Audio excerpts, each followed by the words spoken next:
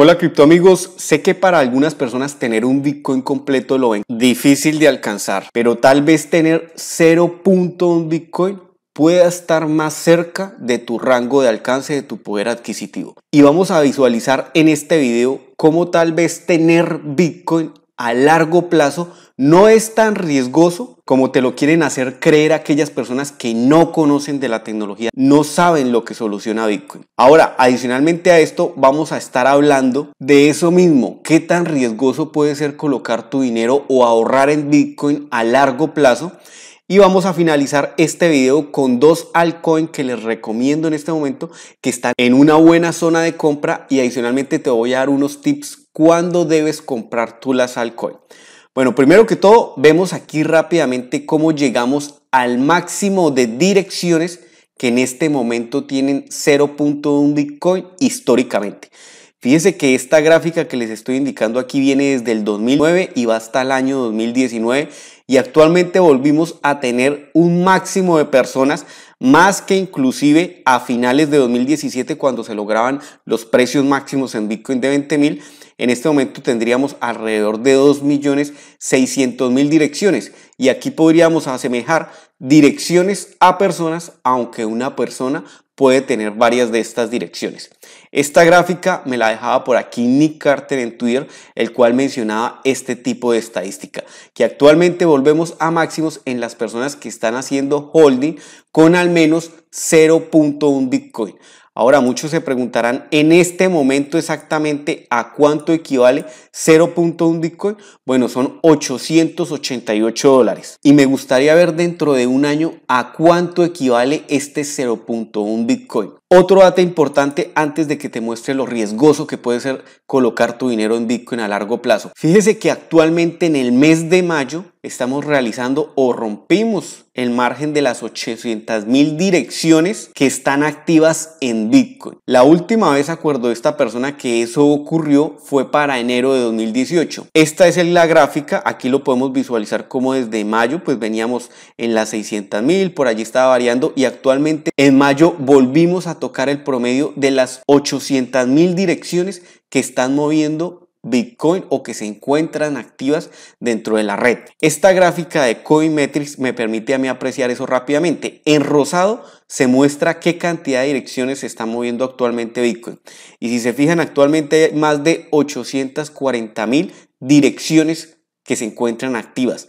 La última vez que realmente esto ocurrió con los datos de Coinmetrics, pues sería para marzo de 2018, cuando estábamos por allí un poco más arriba del precio de los 10 mil dólares. Y obviamente para aquí, para el rally de Bitcoin en los 20 mil dólares, teníamos un movimiento de más de el millón de direcciones activas en Bitcoin. Otro punto semejante sería este aquí, arriba de 800 mil direcciones para mayo de 2017 prácticamente hace dos años. Estos son datos que simplemente nos anuncian en qué camino va Bitcoin. Y me he encontrado con este artículo que el cual se titula ¿Qué tan riesgosos puede ser que seas propietario de Bitcoin? Yo se los voy a dejar en la descripción del video, es muy importante que lo lean, es muy bueno. Pero me quedo con esta gráfica. ¿Cuánto tiempo ha durado Bitcoin desde finales de 2013 arriba de los 7.500 dólares y cuánto tiempo ha durado abajo. Esto con la finalidad de que la persona que empezó a ahorrar semanalmente, mensualmente en Bitcoin, si estaría en pérdida o estaría en ganancias. Esta gráfica me lo permite visualizar a mí de una mejor forma. Aquí ustedes observan cómo el precio de Bitcoin estuvo solo 201 días desde ese 28 de abril de 2013 hasta la fecha solo 201 días abajo de los 7.500 dólares. Y ha durado más de 2.014 días arriba de esos 7.500 dólares. Es decir, que una persona que estableció un ahorro desde esa fecha hasta acá en Bitcoin estaría más que en ganancias a pesar de lo que nos encontramos en los 9.000, 8.000 dólares por allí. Hagámoslo algo más reciente porque sé que muchos me dicen que no van a conocer Bitcoin desde el 2016. Fíjese lo que nos indica este estudio en el cual dice que si una persona estuviese ahorrando 10 dólares de forma semanal desde el 27 de diciembre de 2017, cuando el precio ingresó en esos rangos, nos estaría mostrando que si lo hizo hasta el 19 de mayo de 2019, los datos serían los siguientes. Habría invertido 750 dólares en Bitcoin. ¿Y cuánto Bitcoin hubiese comprado de forma semanal al precio que estuviera cada semana, no? Hubiese acumulado en este momento 0.12 y estas fracciones de satoshis. ¿Y a cuánto equivale al momento en que se, se escribió este estudio? A 904 dólares. Pero si yo me voy a verificar actualmente ¿Cuánto equivale esos 0.1245? Simplemente yo los voy a colocar aquí y me dice que son más de 1.100 dólares en este preciso momento que estoy haciendo el video. Ahora, que la persona no estaría en ganancias de 154 dólares, sino de más de 254 dólares. Por ello es tan importante los que le ven, lo que le vengo diciendo hace rato, que ahorren en Bitcoin, no ahorren en fiat, lo que puedan, 10 dólares, 50 dólares, 100 dólares. Y antes de mostrarle las criptos que opino que están en buena zona de compra, déjenme mostrarle algo técnico de Bitcoin. Siempre tengo que aportarles algo técnico de Bitcoin. Y es esto. ¿Cuánto tardaría un hacker en descifrar el orden de la semilla de tu cartera de Bitcoin? Recuerde que las semillas son esas frases de recuperación que a veces se componen de 12, de 16, de 24 palabras. Es un artículo que me gustó mucho, el cual esta escritora lo hizo en relación a un debate que se dio en Reddit, que por allí lo estuve observando, donde hubo una primera persona que se pronunció en torno a que si esas semillas de tu cartera son del tipo de las que dan 24 palabras. Un primer usuario de Reddit mencionó que tardaría de tener esas 24 palabras, solo que las tendría en el orden incorrecto, que él por accidente las conozca, pero no en el orden llevarlas a tener en el orden correcto le llevaría alrededor de 19.67 millones de años, partiendo del punto de que tenga un poder de cálculo, un poder de cómputo de más de mil millones de combinaciones por segundo. Realmente esto sería demasiado tiempo. Un hacker no viviría todo ese tiempo para tratar de descifrarte, a pesar de que conozca las palabras, solo que no las va a conocer en orden.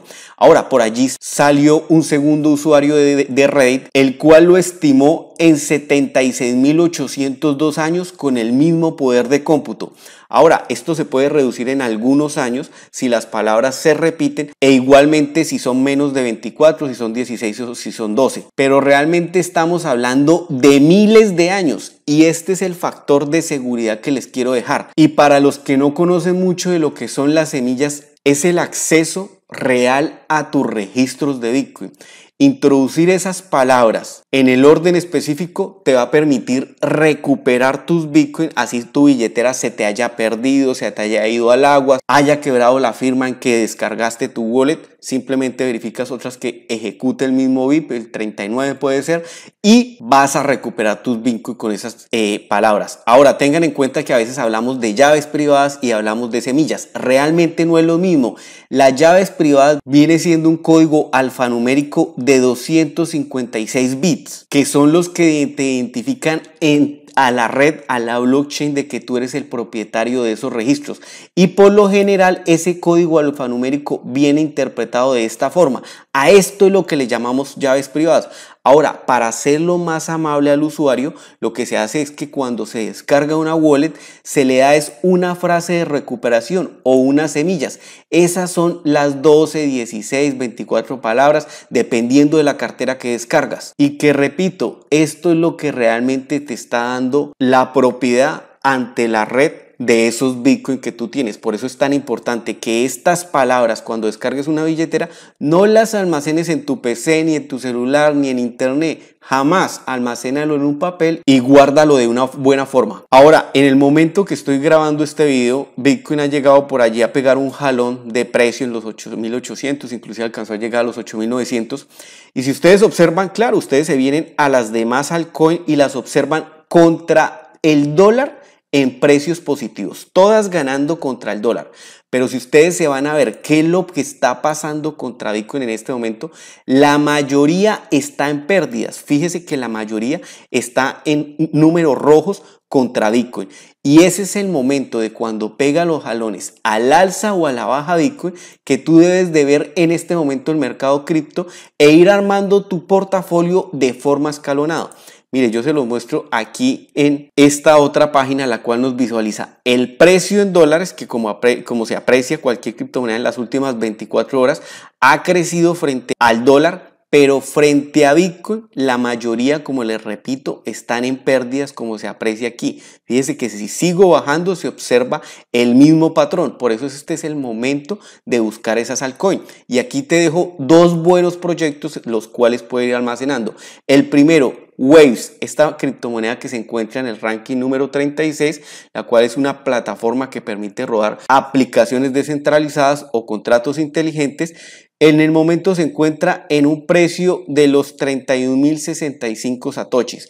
Fácilmente, si retorna a su máximo, se puede multiplicar un por 7 o un por 8. Y este es lo importante de que tú observes y operes siempre en referencia a Bitcoin, el portafolio que estás conformando. Y recuerda, ojo, lo que siempre repito, 50% por lo menos en Bitcoin. Y de igual forma, si tú quieres tenerlo más, no tan a largo plazo, sino a mediano plazo, pues simplemente cuando haga un por o un 50% de ganancias puedes sacarle las utilidades que tú desees.